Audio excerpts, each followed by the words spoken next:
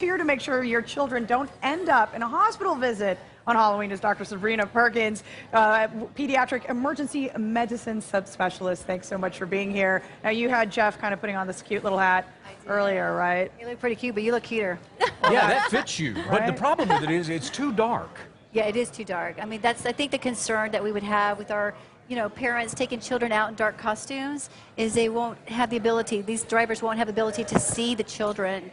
Probably twice as many accidents, meaning children being struck by vehicles, will occur uh, on Halloween evening. And that is the most common injury you That's see. the most common injury we will tend to see, and definitely one of the most dangerous. Okay, And and- the time for that is just right around dusk, right? Or just before dusk? Is Right. That Yeah, when you see the most of those? Definitely. And what happens, I think, between 4 p.m. and 10 p.m. is when you have most of your trick or treaters, all those cute kids going around their costumes. Uh, but also, as the drivers are going around, the visibility is much less for the drivers. So it's harder for them to see your children in darker costumes. Well, and with this, you can remedy this with this costume. You could Sure use thing. reflective tape, right? oh, you definitely could use reflective tape, putting it on the sides of the costumes. We can definitely kind of slap one of those Yeah, on you you. can that way you're more Like that. visible to the drivers out there. And glow sticks. Oh, yeah. I think you definitely get creative with your children. The children would enjoy that. Look, it's a glow bone. Oh, no way! Oh yeah, they make all, they make it cool to be seen. And this Yeah. would be great if, if they were a doctor. They could actually carry the bone around. there you go. So they can put that Right. on the costume so that Exactly. they Yeah, can be seen and helps keep them safe. right. I think that. that we want to make sure the children are safe, and by that, make them as visible as possible. Um, you probably all want to make sure that your costumes are also not too long or too baggy, where they can trip and fall. Or get That's- caught on something Yeah, or something they like definitely that. can sustain their injuries that way with head injuries, uh, falling, and maybe sustaining bone fractures. Oh, that's crazy. Well, I know we're going to show some X-rays here in a second, but we want to talk about costume safety, Yes. especially with with jack-o'-lanterns and and fire. You got to be Yes, careful of we've seen some kids come in with burns. Um, it's the younger children. They kind of get interested in those jack o' lanterns that have candles. So the actual candle that's lit up, they'll reach in for it, and that's when they're going to get the burn. Okay. In case you just turned on the TV, Sebrina Perkins is with the Greater San Antonio Emergency Physicians. There's six locations, part of the Methodist. You're part of the Methodist system. Yes. And let's. So can we show the The X-rays? X-rays, Hey. because what are we looking at here? So here you're seeing the uh, radius and the ulna. Those are the two bones that you would see are fractured. Um, so your distal bones are definitely broken to the point where you can see them pretty obviously. Wow. Yeah, and that was actually um, an injury from a child that was struck by a vehicle. So this is kind of one of the ways. One of the ways they can come into the ER is seeing kids that unfortunately are hit.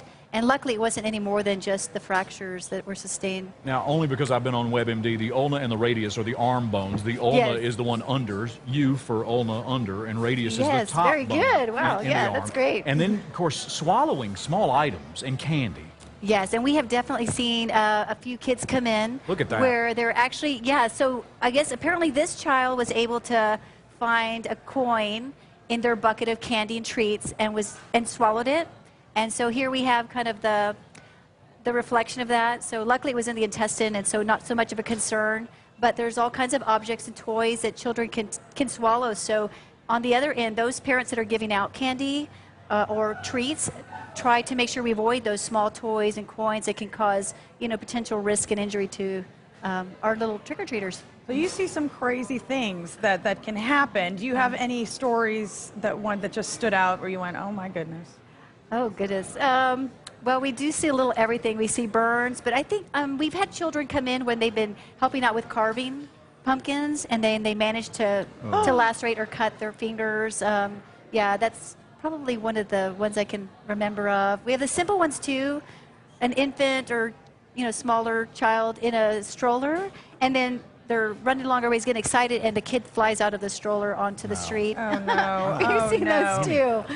The important thing to remember is that uh, this is a lot of these injuries can be preventable. Yeah, all as of these. as you take precautions. all of these can be preventable. If we just think a little bit about the child being in a costume that needs to be fitted, something reflective, uh, making sure that they're being supervised, and um, and in the end, of course, keeping any kind of fire, you know, well lit candles around, out of the way, out of reach of the children that are that are younger and smaller. Right. Yeah. And you've got kids too, so you know all about the homemade Oh, I know all about it. I have two of my own. yeah, that's how this works. And we want to remind everybody if you want to, you know, go see uh, the Greater San Antonio Emergency Physicians through uh, the Pediatric Emergency System, where can they find you? So I am actually at Methodist Children's Emergency Department. There are five other facilities under our group. Um, and so basically, I think if you have children that need to be seen, we are always willing and happy to take care of them. And it's a more personal experience rather than going in a traumatic emergency room where everybody's crazy, abs- especially. absolutely. And I think that that's the one thing that our Greater San Antonio Emergency Group is going to offer is um, definitely great care. You have 100% board certified physicians, but you'll get more of that personal feel when we get a chance to inform you of your illness and how you can take great care of yourself. We want you to have that number. I, we had it up on the screen there a second ago. It is 575 7777. Greater San Antonio Emergency Physicians. You can find them online at gcep pa.com as well. Thank you, Dr. Perkins. Thank, Thank you very much. Will you be working on Halloween? I am off the hook this year. There you go! Oh, there I know You want me it. That's why she's doing the TV show, because this is the scariest part right, Right, here. Thank you very much for being here. It's a pleasure you. to see you. Appreciate it. Thank you.